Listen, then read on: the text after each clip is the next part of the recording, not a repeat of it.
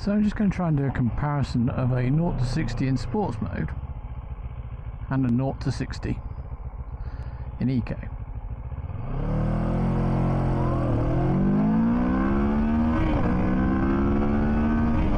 There's 60.